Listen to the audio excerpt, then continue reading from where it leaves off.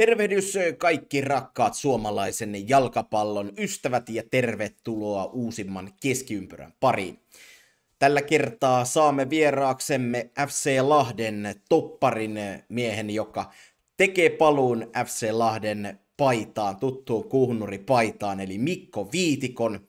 Viitikko, joka jo aiemmin oli Lahdessa luutimassa siellä puolustuslinjassa kolmen kauden ajan, oli tässä välissä – Ruotsissa Trelleborissa ja nyt tekee paluun Lahden paitaan. Laina sopimus Trelleborista Lahteen ainakin tämä alkava veikkausliikakausi. Jatkosta sitten katsotaan sen jälkeen, mutta joka tapauksessa otetaan Mikko Viitikko tästä linjoille. Hänen kanssaan keskustellaan siitä, miten hänen urapolkunsa on oikein mennyt aina sieltä Kannelmäestä klubin junnuista lähtien tähän päivään saakka. Hyvää iltaa, Mikko Viitikko. Hyvää iltaa, iltaa. Tota, mitä kuuluu? Ja, ja nyt tähän alkuun ensimmäinen käsitin, että et ole suinkaan Lahdessa, et ole Suomessa tällä hetkellä, vaan, vaan oot, oot Ruotsissa. Joo, mä eilen, eilen lähdin tämmöiselle Faija-reissulle, että pari päivää yksikseen lähdin tota, peräkärryn kanssa Turkuun, Turkuun ja laivaa ja sitten tänään ajelin koko päivän tänne Etelä-Ruotsiin Tukholmasta. Sitten tänne pääsin, niin intensiivinen viisituntinen pistin kämpän semmoiseen kuin luovutuskuntoon ja huomenna sitten autolla takaisin Tukholmaan ja kotiin. Et kyllä tässä on tästä omasta ajasta vähän nauttinut, mutta on tässä ollut tekemistäkin. Niin mä ajattelin, että toi on varmaan vähän semmoinen niin kaksipiippunen juttu, että, että se on niin kuin, toisaalta pääsee niin kuin, harvoin perheen isällä tulee tommosia hetkiä, että sä pääset niin kuin, pariksi päiväksi irti sieltä niin kuin arjesta, mutta sitten taas toisaalta ei tuo nyt mikään semmoinen niin kuin, niin kuin tota, että, että otetaan, otetaan bissejä ja nautiskellaan, niin ei ole ihan semmoinen reissu. Niin, mä oon varannut jo se buffetin huomiseen laivaan, että sitä, se on se goal, mitä, mitä varten mä painan täällä hommiin. Sitten sit nautitaan, sit nautitaan. No niin, kuulostaa hyvältä. Hei, tota, sano nyt, kun, kun oot siellä, siellä Trelleborissa nyt, nyt tosiaan, se on ihan siellä, mun oli oikeasti, mun oli pakko katsoa kartasta, se, se on ihan siellä Etelä-Ruotsissa, Skoonessa, tota, minkälainen mesta se on?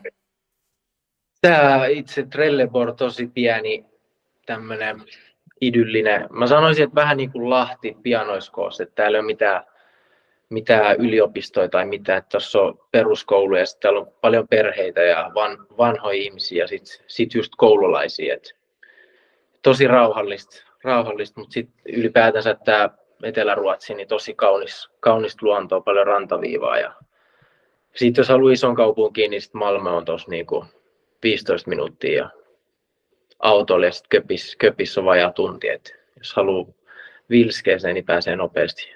Mm, kyllä. Miten se tota, käsittääkseni se Skånemurre on, se on, voi olla vähän haastavaa, niin miten sulla on tarttunut tässä parin vuoden aikana se? Ei, ei ole tarttunut, sanotaan näin. kyllä, kyllä, niin kuin, kyllä, kyllä niin kuin siltä olet ymmärtää, mutta ja varmasti pystyisi puhumaan, mutta se menee se, se englanti on niin jotenkin comfortable, niin sillä mennään. Silloin ollaan menty, mutta, mutta tota, hyvin ymmärtää kyllä jo. Mm, kyllä. No tota, nyt tosiaan äh, paluu FC Lahteen edessä parin Ruotsin vuoden jälkeen, niin tota, äh, miten tämä miten tää kaikki, kaikki niinku tapahtui, miten tämä prosessi prosessi eteni? Oliko Lahti yhteydessä vai oliko sä yhteydessä vai, vai mitä tapahtui? Mm, no Lahti oli yhteydessä. Ne vaan niin kuin heitti tavallaan rapalan tuossa syksyllä, että, että mikä meininki ja minkälainen sopimus sulla on vielä. vielä. Ja tota, se oli sit, sitä aikaa, kun oli, oli tota, itse henkisesti aika loppu, loppu tähän, tähän meininkiin. Ja tota, se oli tavallaan semmoinen kipinä tuli siitä, että, että tos, toi olisi varmaan tosi hyvä juttu, että niinku, seurat pääsis sopuun, niin voisi vois niinku kokeilla tuommoista juttuja, että pääsis, pääsis takaisin Lahteen. Ja sitten hommat eteni hyvin ja nyt, nyt onneksi tota, on innoissani, että pääsen takaisin takas, tota Lahteen. Mm, kyllä. Tota, nyt kun sä oot siellä, siellä kovasti tänään tehnyt pakkausta ja tota, pistänyt kämppää kuntoon, niin onko sulla semmoinen fiilis tavallaan, että Sulla on käsittääkseni 25 loppuun asti Trelleborgin kanssa sopimus, mutta, mutta, tota, mutta onko sulla semmoinen olo, että nyt niin kuin sieltä lähdetään lopullisesti vai? No, tämä jotenkin tuntuu, että tämä, ollut niin pit, tämä oli niin pitkä kausi ja, ja, ja tosi raskas kausi henkisesti, niin, niin no vuoden päästä katsotaan sitten uudestaan, että miten, miten tehdään, mutta mutta on mulla vähän semmoinen fiilis, että, että tota, varsinkin nyt kun, nyt kun tämä coach jatko, joka, joka oli, niin semmoinen fiilis, että kyllä se, kyllä se varmaan ihan 2-5 loppuu.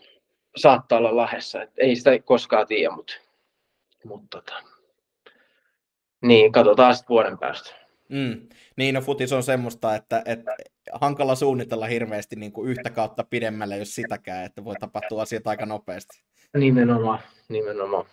Tota, hei, sä oot, mun pakko kysyä, kun sä oot Helsingistä kotosin ja, ja nyt aiemmin sä pelasit jo useamman kauden, kauden tota Lahdessa ja nyt meet sinne takaisin, niin miten stadilaiset äh, frendit, niin miten ne suhtautuu, kun sä oot viihtynyt Lahdessa niin hyvin ja to, to, toiseen suuntaan myöskin, niin miten toi niin noin lahtelaiset, kun sä oot stadilainen siellä kopissa, niin, niin tota, tuleeko kuitti?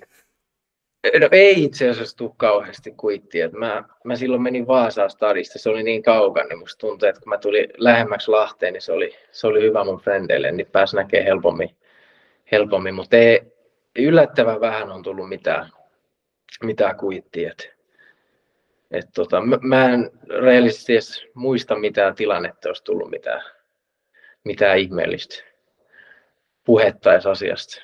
Mm, kyllä. No tota, tosiaan kun sä oot Helsingistä, sä tiedetään, että sulla on myös niin kun, sulla on pitkä klubitausta. Oot sä ihan niin kuin alun perin HJK kasvatti, aloititko sä futiksen pelaamisen HJKs vai oliko siinä alkuun joku muu, muu jengi, missä pelasit? Joo, mä aloitin HJK Kannelmäessä. Mun faija, faija koutsasi siellä ja sitten sieltä mä siirryin niin kuin mun ikäkausi joukku, edustusjoukkueeseen tai mun ikäkauden edustusjoukkueeseen. En nyt muista vuotta, mutta Myllyveräjän Reijo tota, alkoi vetää sitä porukkaa ja mm. sitten mä vedin sen koko putke, putken läpi, että ihan hoikosta. Hoikosta on lähtenyt, lähtenyt tota. Kyllä.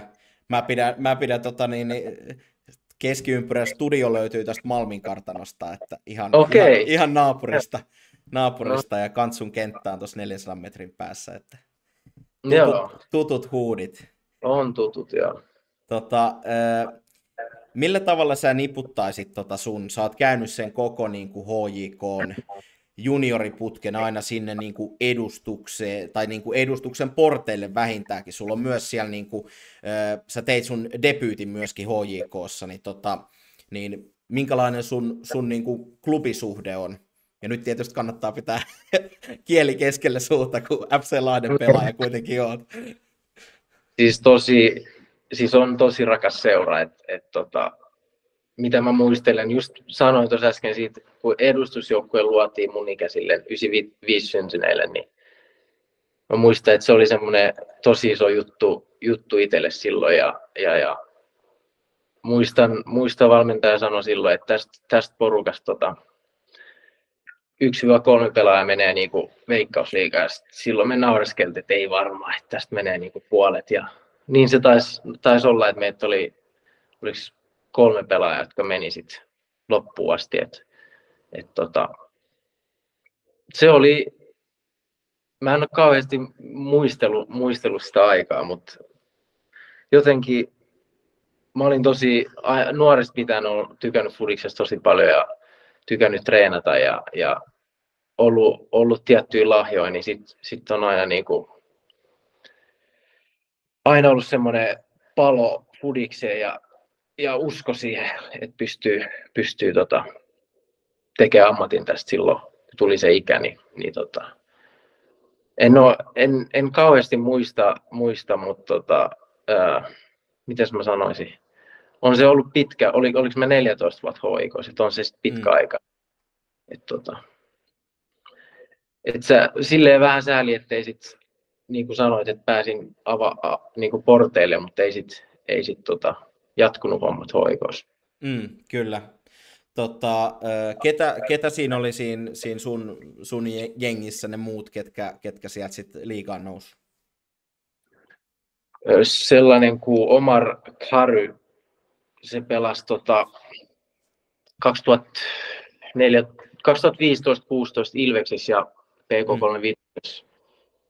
pari kautta ja sitten Karl Juhan Eriksson, Joo. Tota, Saku, Saku tota, Nuusjölandissa nyt, niin ne taisi olla ainoat. Ja sitten ha, Vahid Hampo tuli sit parin vuoden päästä siihen messiin.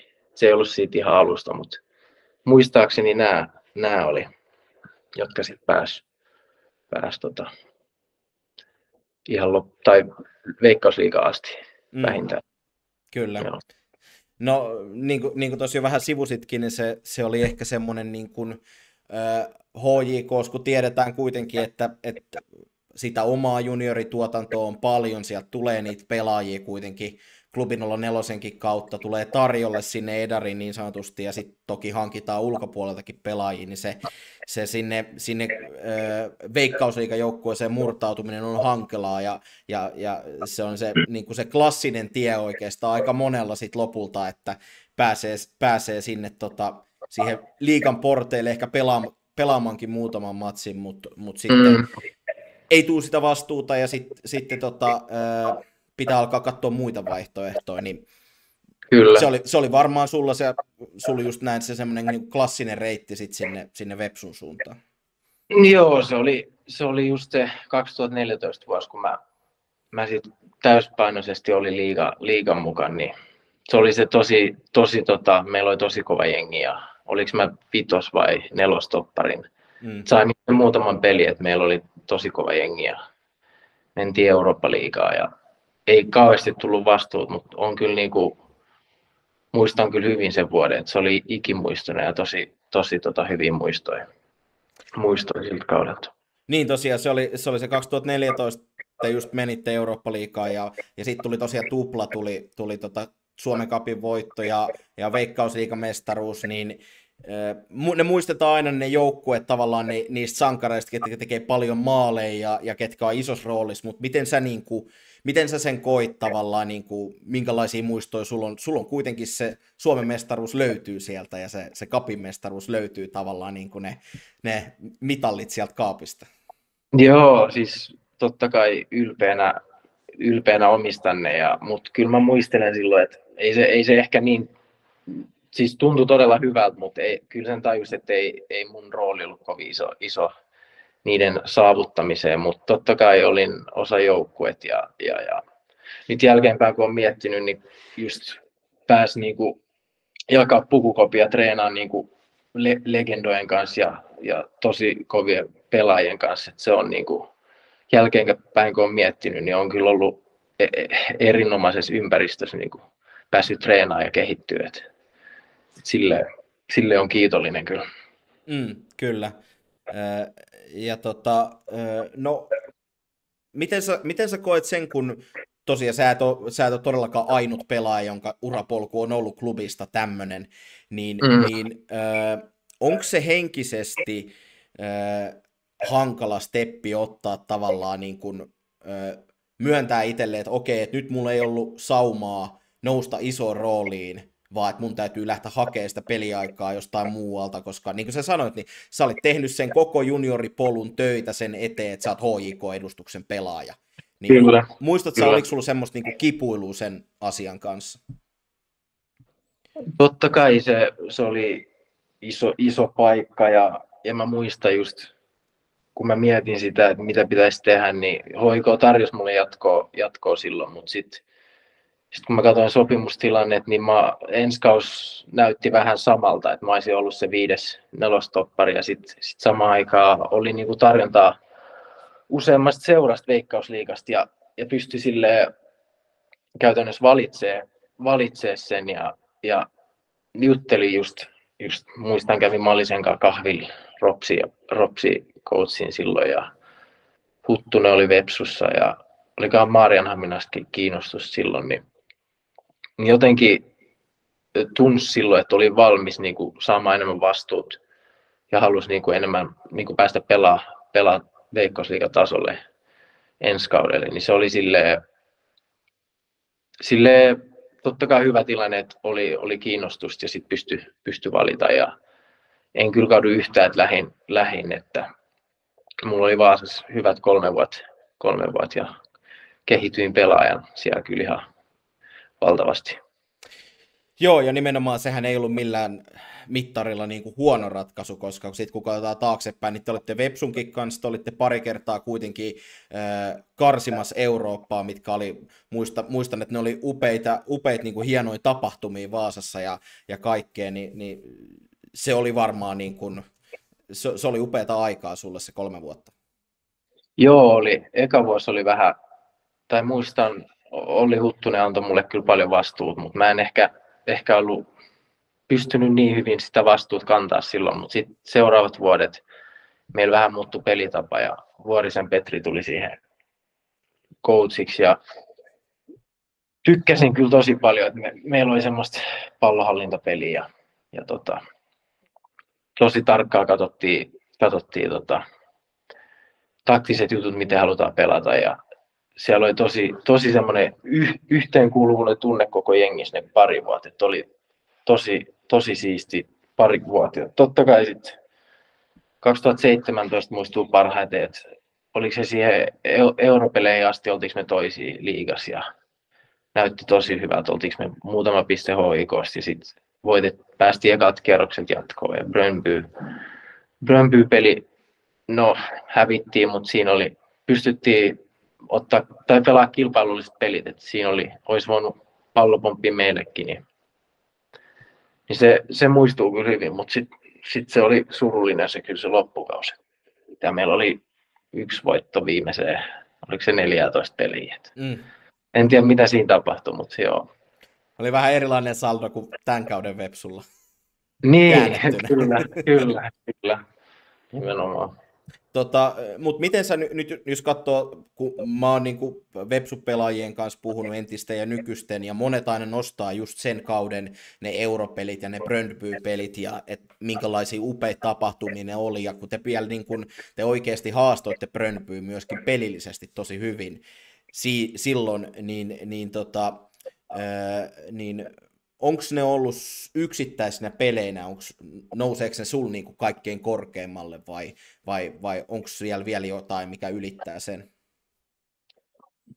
Kyllä mä sanoin, että top 5 menee, menee kyllä helposti ne, ne europelit. Et se varmaan teki siitä vielä spessumpaa, kun siinä oli just, meillä oli semmoinen, me aloitettiin se projekti 2016 ja alettiin kehittää sitä pelitapaa ja työstää sitä ja sitten sitten tavallaan 2017 me oltiin, oltiin vuosi työstetty sitä ja, ja tota, sitten se alkoi niinku tuottaa hedelmää ja sitten me pystyttiin just, just haastaa Pohjoismaiden suurseuraa, niin se varmasti os, osittain tota, tekee siitä erityisemmän, että siinä on ollut semmoinen kahden vuoden projekti aika lailla samoilla pelaajilla. Niin se oli vähän semmoinen palkinto siitä, että pelataan europelejä ja pystytään haastaa sillä pelitavalla, mihin me, ollaan, mihin me uskotaan, niin se oli jotenkin, jotenkin hienoa.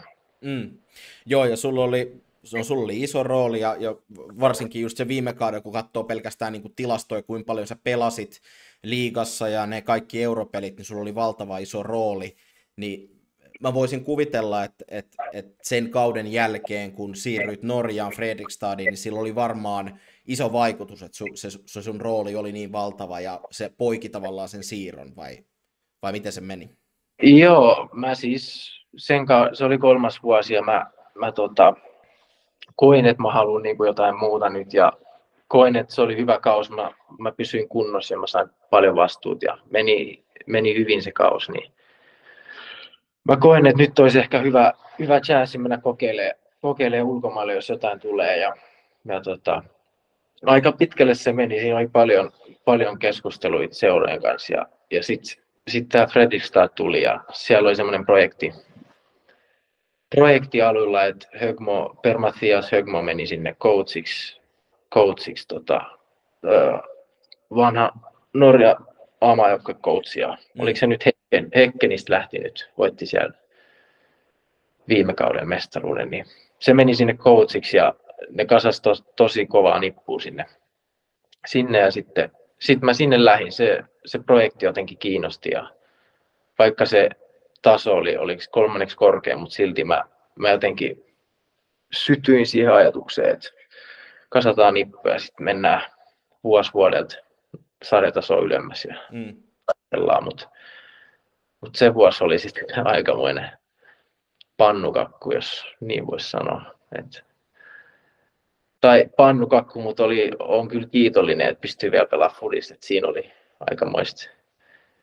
No ei nyt tuuria, mutta olisi voinut käydä huonomminkin sillä kaudella. Mutta, mm. tota, jo.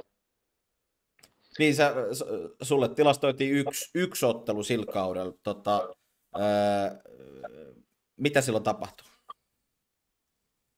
Olikohan se, mulla oli pieni loukkaantuminen siinä kauden alla, niin oliko se kol, kolmas peli, niin tota, mä pelasin e-, eka, eka avauksessa, eka peli avauksessa kolmas peli kaudesta taisi olla. Ja sitten se oli e- eka puoli, joka mä annoin semmoisen niin pulkan, rehellisen pulkan niin kuin sääret edelle, että en mennyt niin napittele sääret edelle. Ja, mm. ja tota, sitten mun sääri osui osu kaverin tota, sääreen. Ja tota, sitten sit mä kelasin, että, että tästä tuli peruspuujalka, että se sattui aika paljon. Pelasin sitten loppuun asti ja, asti ja tota, seuraavan päivän se tuntui nor- normaalilta puujalta, että pystyin tekemään palauttavat setit ja näin. Mutta sitten kahden päivän päästä mä, en, mä heräsin, niin mä tajusin, että ei kaikki ole niinku, niinku hyvin. Et mä, mä en pystynyt niinku, ää, pistää painoa sille jalalle yhtään ja se, se mun tota, sääri oli niinku kaksi kertaa mun toisen säären kokonen ja mm. ihan kiikkova ja sitten sit mä jotenkin, jotenkin konttasin stad, stadikalle, että mä asuin tosi lähellä onneksi, niin pääsin sinne ja sitten fysiot otti, otti mut ja sit ne pisti mut heti päivystykseen ja sieltä mä sain sitten reseptilääkkeet apteekkiin, mistä mä, no kepit sain onneksi ja sitten reseptilääkkeet ja kävin hakemaan hakea lääkkeet ja kotiin ja pistin napit suuhun ja tunnin, tunnin siinä tota, vaikeroin ja oli siis niin kuin ihan äl, älytön kipu ja sitten sit mm. mä soitin joille, että ei, ei tämä ei tää voi näin mennä ja sitten me lähdettiin sairaalaan ja oliko se reilun tunnin päästä mä olin leikkauksessa. Et, et, tota, mä menin sitten leikkaukseen ja lääkäri sanoi, että sanoi just kivasti ennen leikkausta, että, että tota, mä toivon, että lihas ei ole, ei ole niin kuin kuollut. Että siinä on niin suuri paine ollut mm. nyt muutama päivä, että, että mä toivon, että se, se on kuolios. Että, että jos se on kuolios, niin sit, sit kaikki on hyvin, mutta jos se on kuolios, niin me joudutaan, joudutaan amputoimaan sun jalka niin kuin nivusesta alaspäin. Joo. Sitten mä heräilen siitä leikkauksesta ja no siinä joku 15 minuuttia mä en uskalla ottaa sitä täkkiä mun jalkojen päältä, päältä pois, että onko mulla kahti jalkaa. Ja... Mm. Sitten mä ro- rohkenin ja onneksi mulla oli sit pari jalkaa siinä ja selvisin säikähdyksellä.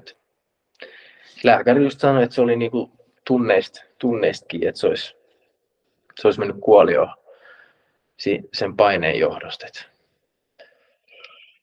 Se oli aikamoinen aikamoinen helpotus. No, Helpot. varmasti. No. Joo, hur, hurja juttu. Tota, ö, mitä siinä oli siis käytännössä? Mikä siinä, oliko siihen tullut, se oli se kova isku vaan ja sitten se oli jotenkin siitä tullut, Joo, se... oliko siellä jotain, jotain murtunut vai? Joo, siis ö, siellä lihaksessa tota, joku iso verisuoni oli tota, vaurioitunut ja sitten se oli niinku, täyttyy, täyttyy verellisen lihas tosi mm. nopeasti.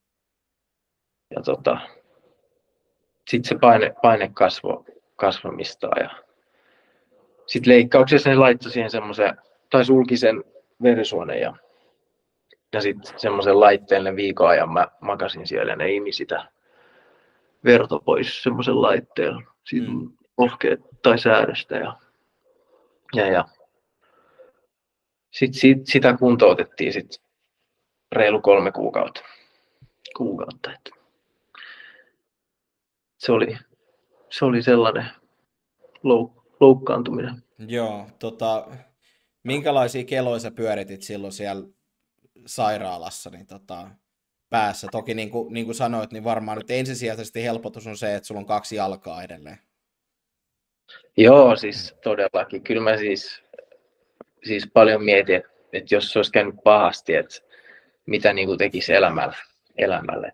On päässyt just ulkomaille ja ekas pelissä, niin käy tällaista. Mutta mut joo, ei, siis totta kai oli kiitollinen ja että se oli kunnossa ja, ja tota, oli niinku tietyn tavalla linnoissaan, että et tota, tämä nyt hoidetaan, kuntoutetaan tästä pois alta ja sitten sit taas kovaa ajoa niin sanotusti, että mm.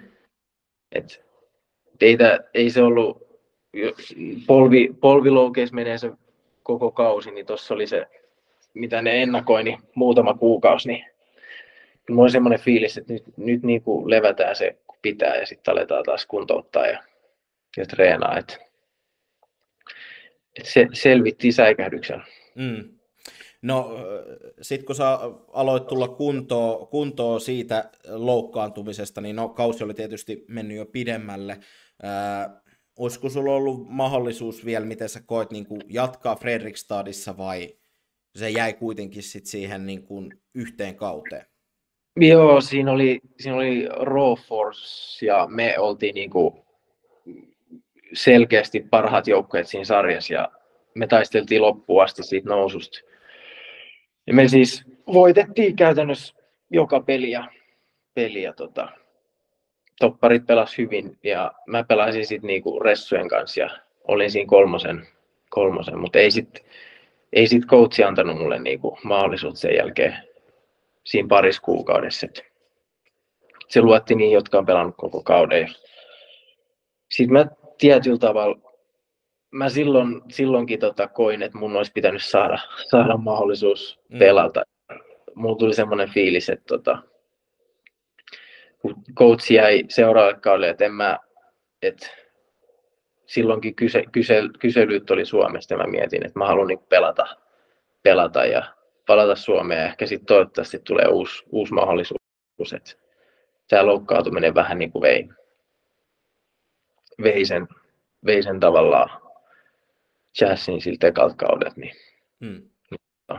mä sitten palasin, palasin Suomeen ja se oli, se oli kyllä hyvä päätös. Niin, silloin 2019 ensimmäistä kertaa nyt Lahteen, Lahteen ja Lahden paitaa, niin tota, ää, oliko se, sanoit, että kyselyitä oli muualtakin silloin, mutta, mutta oliko helppo päätös silloin, silloin tota, hypätä kuhnureihin? Joo, Lahti, mä muistan, kun mä lähdin Norjaan, niin Lahti olisi halunnut mut silloin jo.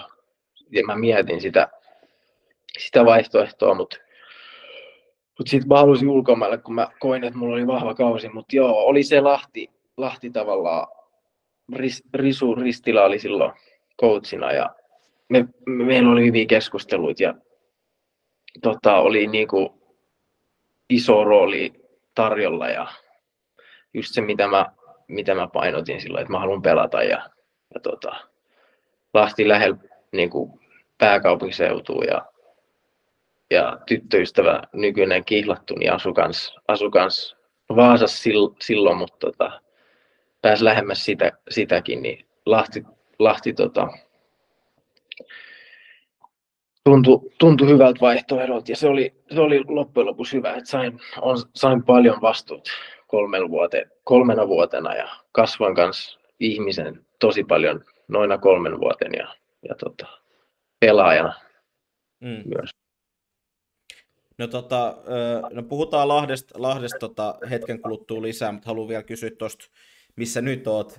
Trelleborg-ajasta 22 menit sinne ja se niin kuin, edellinen kausi, niin se oli kuitenkin vielä semmoinen, että et, et, silloin tuli hyvin vastuuta, mutta mut sitten nyt, nyt menneellä kaudella sitä vastuuta ei enää, ei enää tullut, niin millä tavalla, ja, ja sä sanotkin tuohon alkuun just, että tämä, tämä vuosi oli tosi, tosi raskas äh, henkisesti, niin, niin tota, miten sä niputtaisit tota, nyt tota kahta vuotta?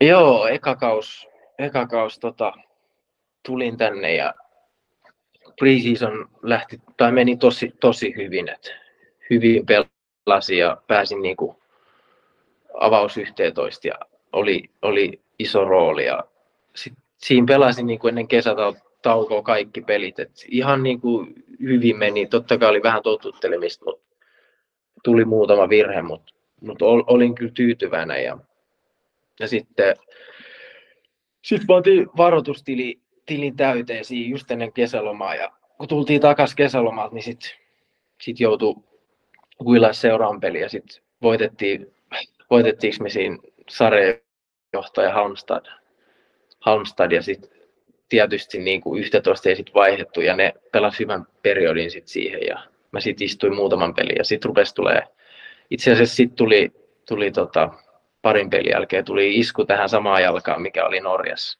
Hmm. Norjassa ja sitten mä pelkäsin, että onko tämä nyt sama, se turpos taas. Ja... Sitten mä kävin päivystykset ja kaikki läpi, mutta sitten jollain tulehduslääkkeellä mä sain sen hallintaa ja meniksi joku vajaa, vajaa kuukaus vai oliko ko- kolme viikkoa meni sit siinä, siinä ja sitten loppukaudesta sain, sain muutaman täyden peli, että sille, sille oli ihan hyvä, hyvä fiilis siitä kaudesta, että me taisteltiin loppuun asti. Jätiinkö me kolme pistettä siitä nousukarsinnasta. Että, et tykkäsin tosi paljon siitä, miten me pelattiin pelitavasta ja, ja muusta, mutta mut sitten sit mennään toista seuraavaan kauteen, niin mä en niinku ymmärrä, meidän valmentaja siis sai potkut ja, mm. potkut ja sitten sit meille rek, rek, tai uusi valmentaja on niinku, niinku ihan, ihan eri peli, pelifilosofia varustettu, että et tota, ei niinku mitään jatkumoa sille hyvälle edelliskaudelle, että vaihdetaan pelitapa pitkään palloa ja, ja tota, puolustusvoittoiseen fudikseen ja, ja tota, tykkäs musta tosi paljon. Preseason meni taas hyvin ja olin kapte, kapteeninakin lähes kaikki pelit ja sitten niinku, sit tämä niinku henkisesti raskas kausi alkoi, kun just kauden alla niin kenraalis, niin tämä coachi pistää mut, mut penkille niin kuin hyvän viime pelin jälkeen. Ja mm. Sitten istuinko mä kuusi peliä penkillä ja mä en saanut mitään vastauksia, vastauksia coachilta. Ja mä, olin, mä olin henkisesti ihan niin kuin jossain alamaailmoissa. että mä olin niin kuin tosi häkeltynyt, että miten, niin kuin, miten se kohteli mua siinä tilanteessa, että se ei, voinut, se ei sanonut mulle niin kuin mitään syytä sille. Ja, ja, ja. Sitten seitsemän, oliko se seitsemän pelin jälkeen hän sai sit potkut ja, ja, ja. sitten meidän edelliskauden kakkoskoutsi tuli, tuli puikkoihin ja, ja siitä, siitä, mä kyllä tykkäsin coachina, coachina mutta hän ei sitten hän ei sit ilmeisesti tykännyt, tykännyt meikäläisestä niin paljon, mm. paljon että sitten mä pela, pelailin niin kuin jämäminuutteisen tämän loppukauden ja, ja, ja, ja, ja sain yhden kupin pelin 90 ja sitten loppukaudesta sain yhden, mutta sitten loukkaannuin heti seuraava, seuraavissa treeneissä niin kuin loppukaudessa, mutta ei sitten tämä tota, nykyinen coachi sitten ei, ei niin kuin osoittanut luottamusta meikäläisen suuntaan. Et, et just sille mä olisin tosi sinuit itteni kanssa, jos mä mä tietäisin, että ei vaan riittänyt, mutta, mutta kun sille joukkuekaveritkin ihmettelee ja, ja sille hyvin, hyvin menee treeneissä, hyvin, hyvin käytän ne tilaisuudet, mitä saa, mutta silti ei, ei saa mitään, niin tuli semmoinen olo, että, että, että ehkä tämä oli niinku mun aika täällä ohi, että, että tota,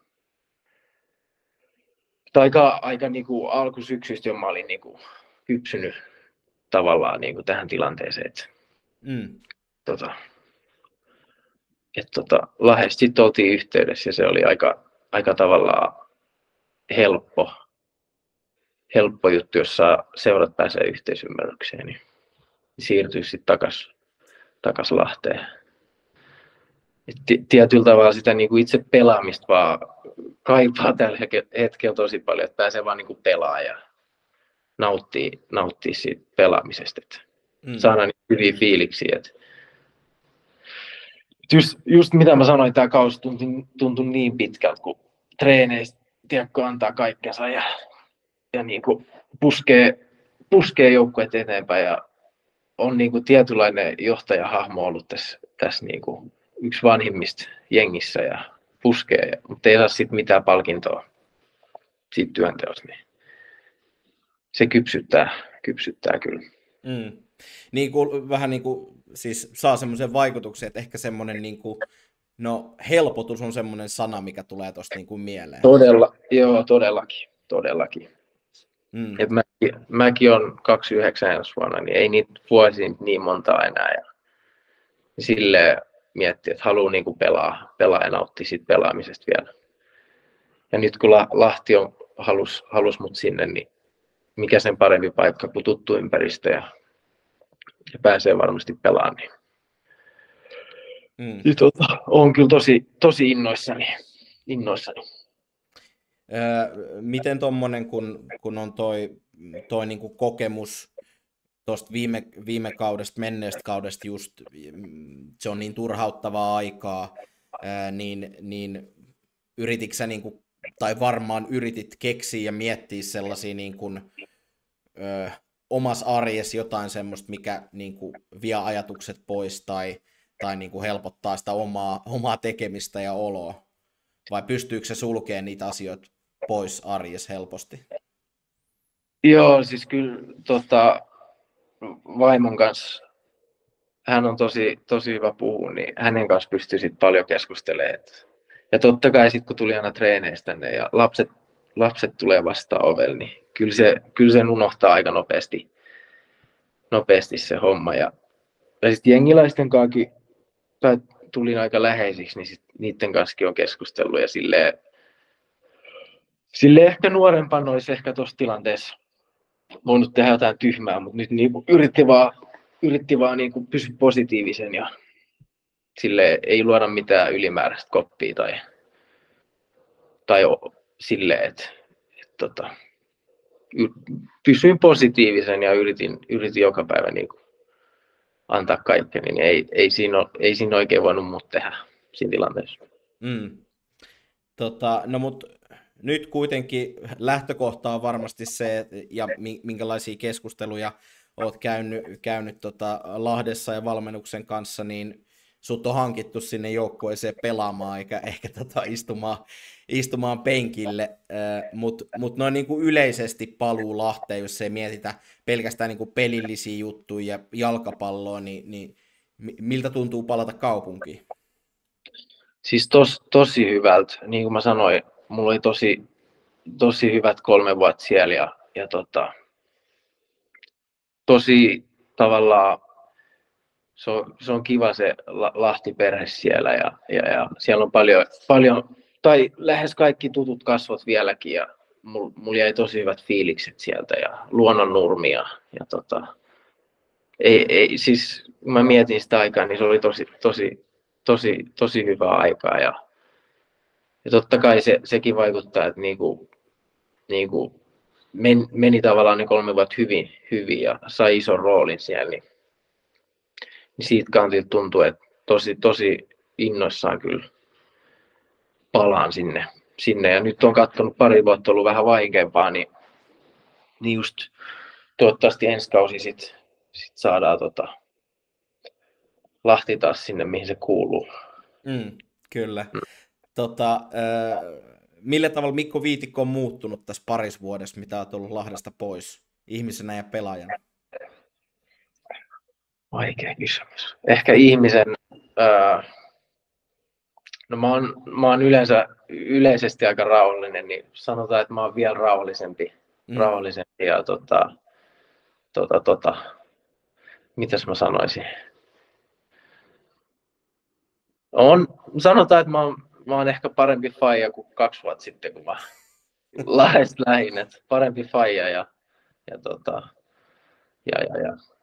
ja, ehkä pelaajana, pelaajana mä oon tota, ehkä vähän fysiikkaa saanut ne parin, parina vuonna, että ehkä vähän fyysisempi, vaikka on pitkät raamit, niin ollut aina vähän semmoinen hoikahko, niin ehkä vähän, vähän saanut fysiikkaa ja, ja tota,